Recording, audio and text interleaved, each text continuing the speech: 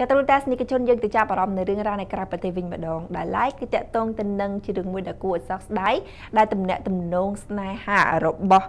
តារាកូរ៉េពីរដួងគឺជោយុនហ៊ីនិង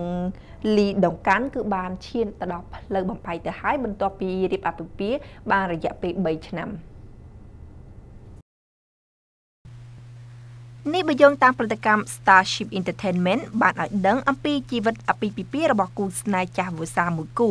ដែលជ្រកកោនក្រោមដំបូលផលិតកម្មតែមួយខណៈនេះពួកគេទាំងពីរបានដើរដល់ផ្លូវបំបែកហើយខាងផលិតកម្មក៏បានបន្តទៀតថា យើងគឺពិតជាសំទោសខ្លាំងណាស់ចំពោះការផ្សព្វផ្សាយនៅព័ត៌មានដ៏សោកស្ដាយមួយនេះម្យ៉ាងវិញទៀតដោយនេះគឺជាការបញ្ជាក់ពីផលិតកម្មថាវាគឺជាព័ត៌មានពិតប្រាកដមួយ ដែលក្រោយពីពួកគេគឺបានលេងលះគ្នាសូមជម្រាបជូនផងដែរថាចំពោះមូលហេតុដែលពួកគេទាំងពីរសម្រេចចិត្តចែកផ្លូវគ្នាដើរបែបនេះគឺព្រោះតែពួកគេគឺមានចំណុចខុសគ្នាច្រើន មួយវិញទៀតពួកគេសុទ្ធតែមានហេតុផលរៀងៗខ្លួនទើបសម្រេចចិត្តបែបនេះ ក៏សូមបញ្ជាក់ជូនផងដែរថាគូស្វាមីមួយគូនេះគឺបានរៀបការជាមួយនឹងគ្នា កាលពីកំឡុងឆ្នាំ